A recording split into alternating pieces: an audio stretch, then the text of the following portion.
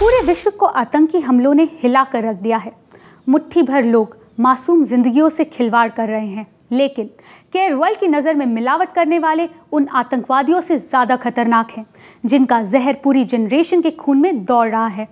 कुछ दिन पहले न्यूज़पेपर्स में एक खबर छपी थी कि एक स्कूल के सारे के सारे बच्चे एक साथ हॉस्पिटल में भर्ती हो गए। कारण, जहरीली मिठाई खाना। इसमें उन मासूमों का क्या कसूर? जब मिलावट करने वाले चंद लोग पैसों के खातिर देश की भावी पीढ़ी से खिलवाड़ कर रहे हैं। तो क्या कोई ऐसा तरीका नहीं कि हम इन मिलावट करने वाले आतंकवादियों की करतूतों को उजागर कर सकें? और आज का हमारा यही मकसद है, हम करेंगे मिलावट खोरों का पर्दाफाश द एफ़ फैक्टर के आज के एपिसोड में। मिठाई का एक टुकड़ा जो खुशी के मौके पर खाते हैं, आज वही टुकड़ा हमारी खुशियाँ छीन लेता है। क्यों? वो मिलावट खोरी का नतीजा है। क्या हम मिठाई को मिठाई की तरह खा सकते हैं? ज़रूर। लेकिन परखने के बाद, मिठाई की शुद्धता जांचने के बाद। और इसी में हमारी मदद करेंगी डॉक्टर ज्योति वोरा। दोस्तों, मैं आपको बता दूँ कि डॉक्टर ज्योति वोरा मुंबई के रुया कॉलेज में बायोकेमिस्ट्री, फ़ूड साइंस और क्वालिटी कंट्रोल डिपार्टमेंट की एचओडी हैं। चलिए उनका वेलकम करते हैं। Welcome doctor thank you doctor कहा जाता है जो जहर है वो मीठा होता है। जी। और अगर इसी जहर को मिठाइयों में मिला दिया जाए तो कितना मुश्किल हो जाएगा जहर को पहचान पाना। करेक्ट शायद ये हमारे सामने एक बहुत बड़ी चुनौती है जिसमें हमें ये सोचना है या ये देखना है कि किस तरह से जहर को मिठाई से अलग किया जाए करेक्ट या किस तरह से पहचाना जाए। यहाँ पे मैं शुरू में ही ये कहना चाहूँगी कि हमारे इंडियन कल्चर में मिठाई का बहुत ही अहम महत्व है। सही बात है। अब चाहे त्योहार हो या ना हो वी हैव स्वीट कुछ मीठा हो जाए। Absolutely we have a sweet tooth ji. Plus मिठाइयाँ become a centre stage of any menu correct so consumers जो है वो बहुत सारा पैसा खर्च करके बेस्ट मिठाई या तो घर में बनाते हैं या बाहर बाहर से खरीदते हैं। In that case if you are buying adulterated sweet meats या एडल्ट्रेशन का आपका डायरेक्ट कांटेक्ट हो जाए it's a very ironic thing correct Right. आपने थोड़ी देर पहले सही कहा था कि जो मिठाई है वो आपको एक अनएडल्ट्रेटेड खुशी देती है। Correct. और अगर उसमें एडल्ट्रेशन हो जाए उसमें मिलावट हो जाए तो एक दुख का माहौल भी बन सकता है। एब्सोल्युटली तो इसे किस तरह से पहचाना जा सकता है? या किस तरह के एडल्ट्रेशन मौजूद होते हैं मिठाइयों में? मैं तो ये कहूँ कि जो इंग्रेडिएंट्स हैं जिनको मिठाई बनाने में इस्तेमाल किया जाता है those ingredients are stand alone food material correct like milk rava sugar jaggery, colour all these either separately or together. जो भी एडल्ट्रेशन आप दूध में कर सकते हो नॉर्मली वो आप उस दूध में भी कर सकते हो जो आप मिठाई में मिलाओगे।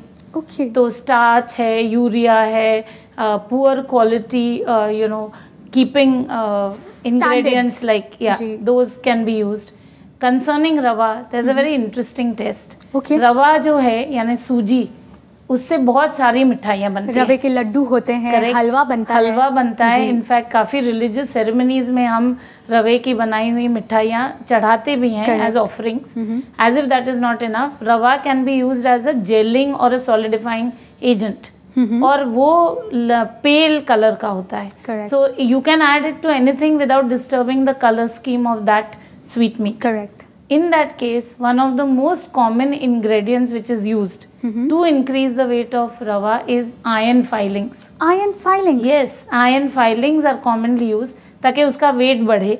अब लाइक मेरे साथ साथ बहुत सारे हमारे दर्शक होंगे वो सोच रहे होंगे कि अगर ये आयन फाइलिंग्स हम लोग रोज़ाना अपने डाइट में ले रहे हो तो इसका हज़ार क्या होगा? बहुत ही ज़्यादा इम्पोर्टेंट हैज़र्ड है। जी।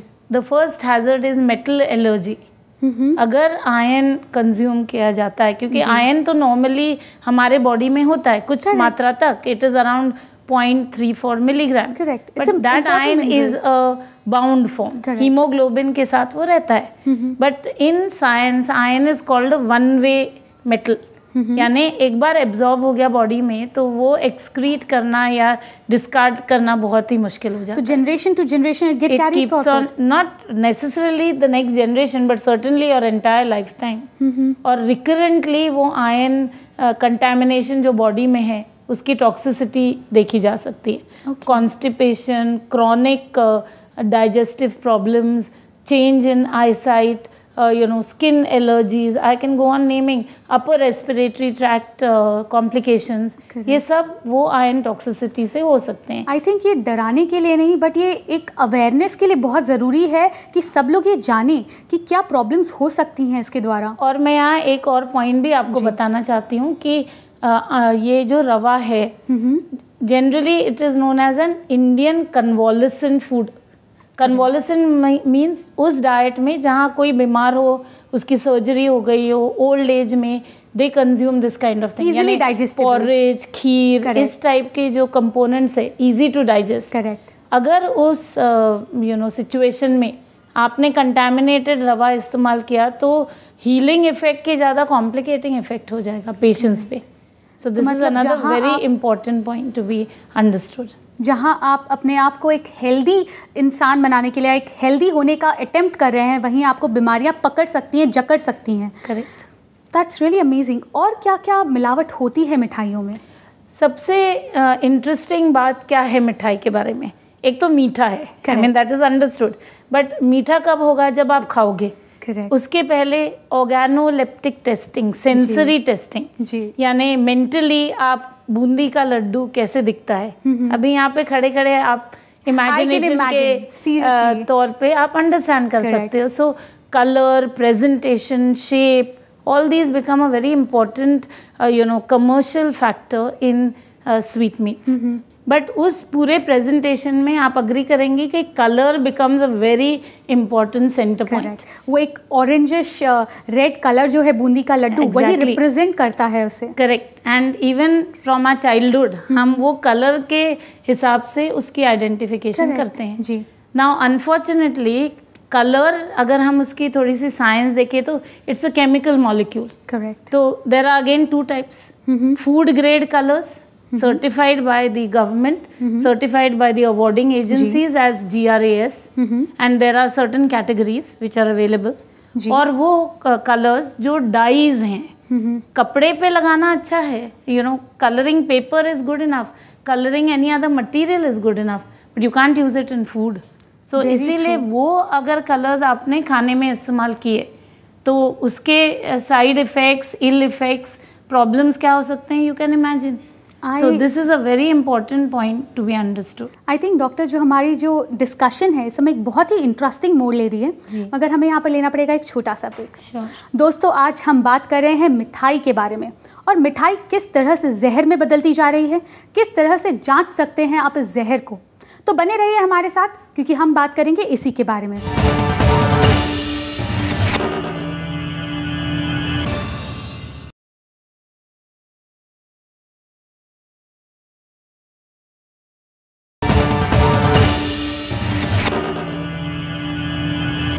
Welcome back after the break दोस्तों अब तक हमने जाना कि मिठाई किस किस तरीके की मिलावट के साथ मौजूद है मार्केट में और किस किस तरीके की हानि पहुँचा रही है हमारे शरीर को।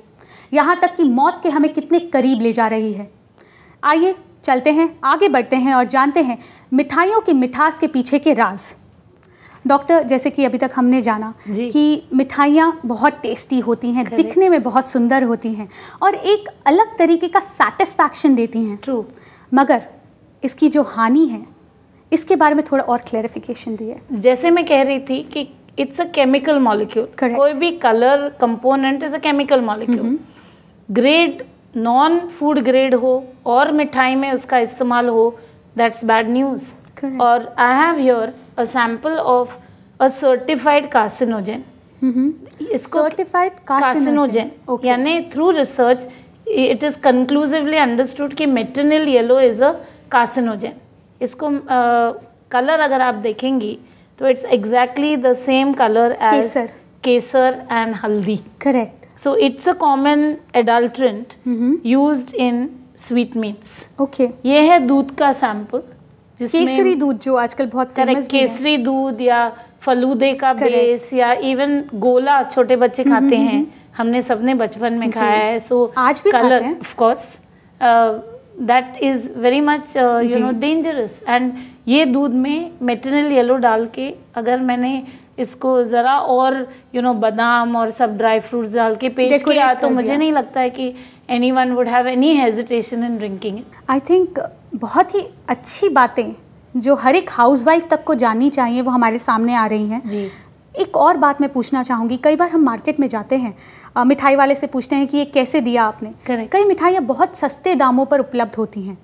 इनमें क्या कोई अ, किसी तरीके की मिलावट होती है या फिर इनका जो प्रोडक्ट है वो डिग्रेडेड होता है? अगर किसी दुकान में जाके आपको बहुत ही सस्ती मिठाई दिखाई दी या उन्होंने बेची जी। जो आपके कैलकुलेशन और आपके अंडरस्टैंडिंग से बहुत ही दूर है जी। Then my suggestion is please don't buy it क्योंकि to maintain that price line they are most unscrupulous ज़्यादा से ज़्यादा एडल्ट्रेटेड इंग्रेडिएंट्स इस्तेमाल करते हैं mm-hmm. और uh, इस वजह वो कीमत इतनी कम है। कम होती तो है। देखने जाए तो मिठाई कोई मैंडेटरी मेन्यू इंग्रेडिएंट नहीं है। Correct. हर दिन हर मील में खाने की ज़रूरत नहीं है। सही बात। अगर आप चार बार खाने की जगह दो बार खाएँ बट अच्छी क्वालिटी क्वालिटी की। खाएँ then it is good for the health of the family ये तो बात हो गई कि आप खरीदारी सोच समझ के करें प्रॉपरली जाँच कर चीज़ें लें।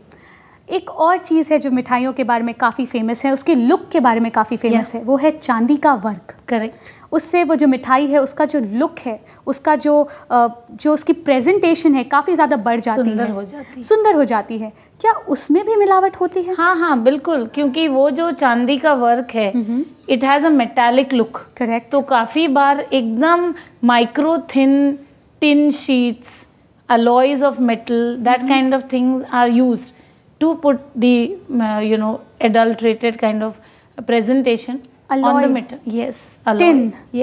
I think ये आप बहुत ध्यान से सुनिए कि हमने थोड़े देर पहले जाना था कि रवे के अंदर आयन फाइलिंग्स मिल रही हैं मिठाइयों के ऊपर अलॉय और टिन के शीट्स पतले पतले परत उसके दिखाई देते हैं। तो it is so dangerous it is extremely dangerous और ये आई थिंक मिठाइयाँ जो होती छोटे बच्चे Correct. खास जिद करते हैं Correct. कि कुछ चमकीला है तो मुझे आप वो खरीद के दें।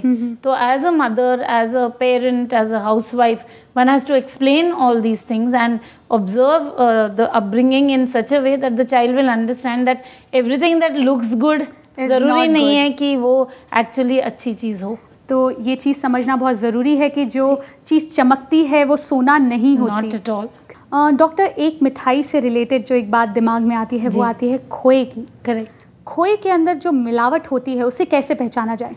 सबसे पहले तो हम ये प्रोसेस समझ ले कि खोया एक्चुअली है क्या। जी। अगर हम कहें कि खोया is a complete extract of condensed milk यानी बहुत सारा वॉल्यूम दूध का लिया।